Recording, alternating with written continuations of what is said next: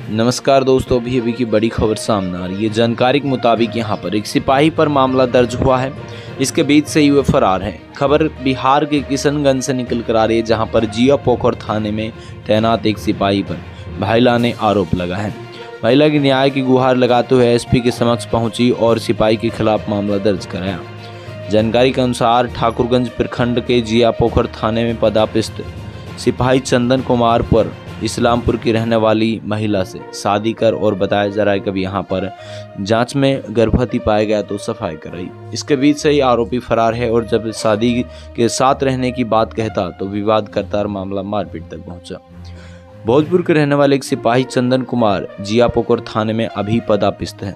सिपाही ने मेरे साथ दूसरी शादी रचाई और जिसके बाद उन्होंने बताया जा रहा है कि पूरी तरह गलत वारदात को अंजाम दिया। इसके बाद से बताया जा रहा है कि अब साथ रहने से इनकार कर रहा है, फरार है, अब जाँच की जा रही है।